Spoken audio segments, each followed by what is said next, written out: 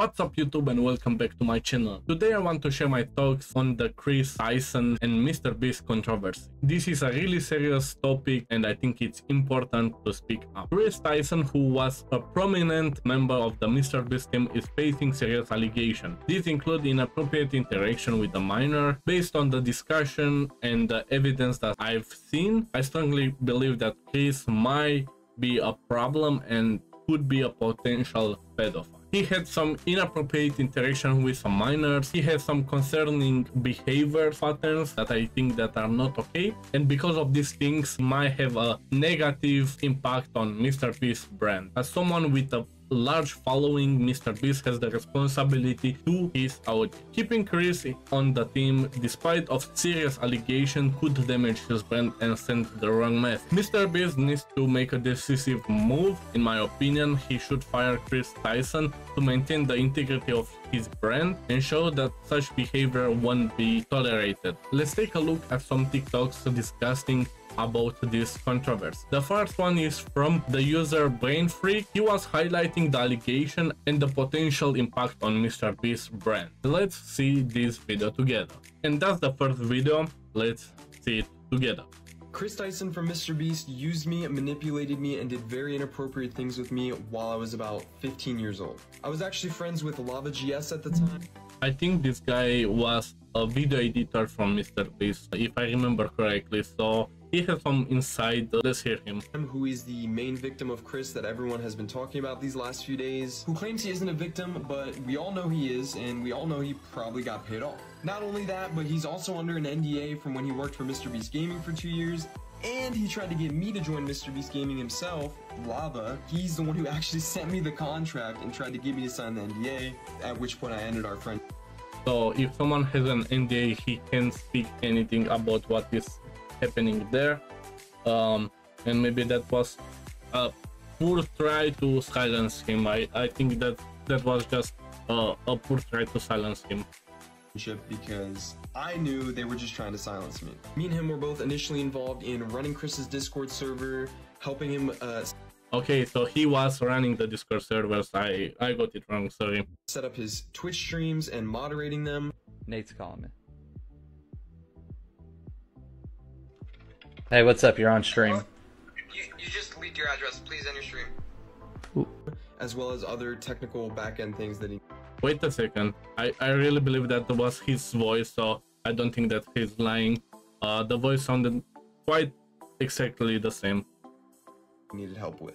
This Discord server that we were a part of had about 10 people in it, most of whom were minors. I'm not sure how they got in there, other than me and Lava. He won a giveaway and Kris and the question is why did you hold them if they are minors and they have nothing to do there?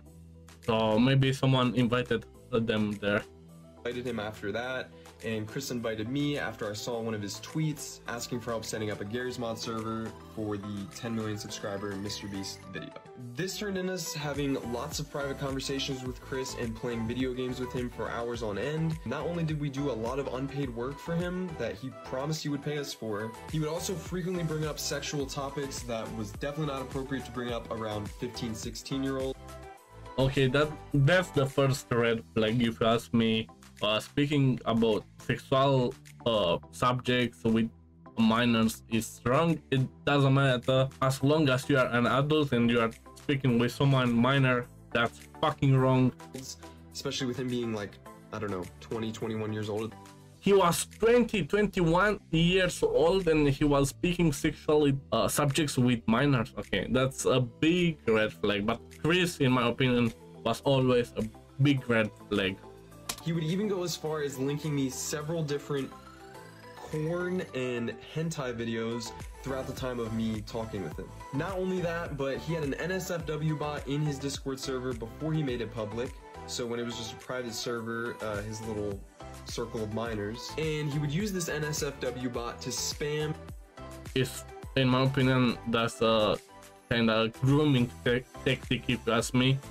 But let's hear what are these things? Corn images, corn images, um, alongside all these 15 year olds. He would also frequently call me dad and daddy as well as the others, which I guess we all kind of just took as a joke. Wait a second. he was calling him daddy. I mean, daddy. That's uh, that's wrong, man. This is wrong. This guy should stop. Okay, let's hear it. joke at the time. You have to think this is someone who we looked up to at the time, we idolized, we thought was the coolest person in the world, so they couldn't really do any wrong in our eyes. But looking back, I was definitely uncomfortable uh, at being called daddy by a 20 year old. Um, and Clearly, 100%, I would be, I would be feeling the same thing. I mean, imagine. You, you have a grow, grown man telling you daddy. I mean, wrong, wrong, wrong, wrong. I would be so uncomfortable. it, even just thinking about it now, it's just uncomfortable. This server later went public and became his official Discord server, but before it did, he had me and Lava spend multiple days scrubbing this Discord server clean of all of the N-words he had sent in it, as well as his friends, as well as deleting the NSFW channels and making sure no one could see that he was spamming porn to minors. Okay, so he knew that he's wrong.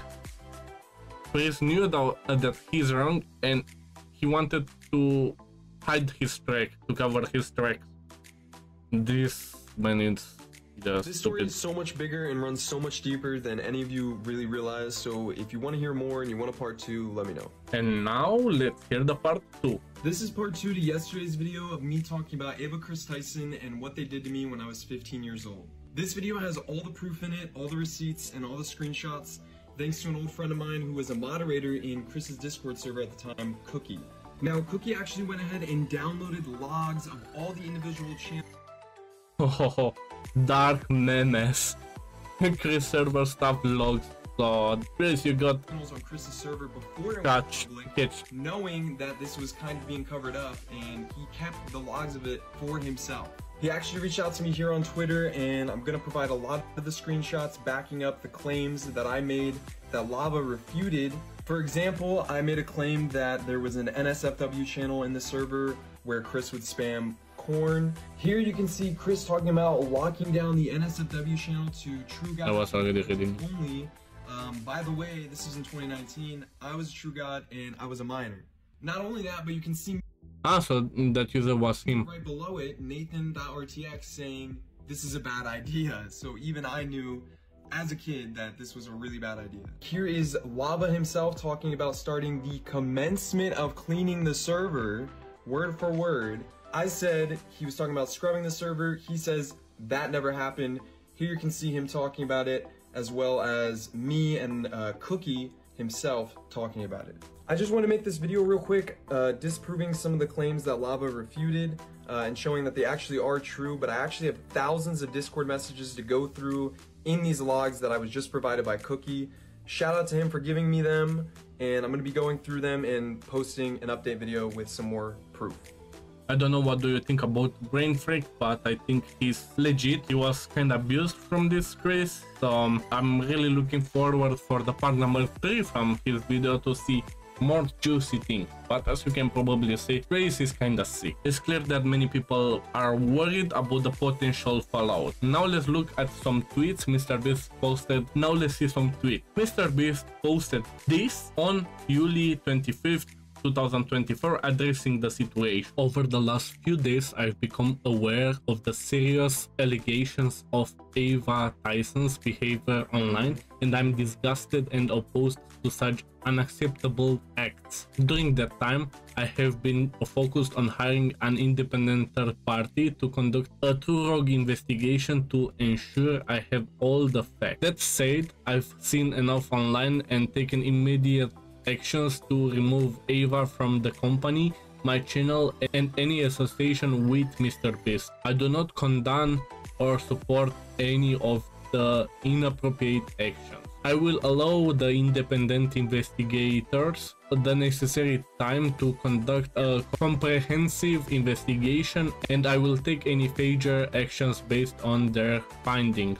This answer came after Kris was posting these tweets on Twitter. I would like to apologize for any of my past behaviors or comments if it hurt or offended anyone. It was not my intent. Seeing recent events, uh, we are mutually decided it's best I permanently step away from all things Mr. Beast and social media to focus on my family and mental health. So Kris was trying to tell us that he was leaving Mr. Beast in good condition with Jimmy. But as you can see from Mr. Beast's post, I think the Mr. Beast was the one that fired him. And after this post, Kris was replying on this. In the next day, on 24th July, Kris replied on his post, I want to add, I never groomed anyone.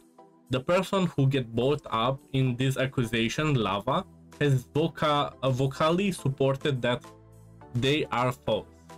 Having said that, I humbly apologize to anyone I have hurt with my unacceptable social media posts, past actions, and to those whom I feel betrayed by how I used to act online. To lump these uh, two factors together to create a narrative that my behavior extended beyond bad edgy jokes is disgusting and did not happen. In past years, I have learned that my old humor is not acceptable I cannot change who I was, but I can continue to work on myself. I don't want this accusation to impact the hundreds of people who work at Mr. Beast, which is why I stepped away. I don't know guys what do you think about this but I feel that this um, apology is not an apology, it's not giving me the feeling that he wanted to apologize. And one day after this post, Mr. Beast was posting on Twitter telling us that he fired Kris because of his behavior. But let me know what do you think about this down in comments below. My opinion about Kris is that he did it, he has some mental problems. I don't think that is acceptable as a grown man to speak with minors about sexual subjects. I don't think that it's okay to call them daddy and all other things that Kris did. But that was everything for today. Don't forget stay away from people like Kris. Until next time, See you. Ciao.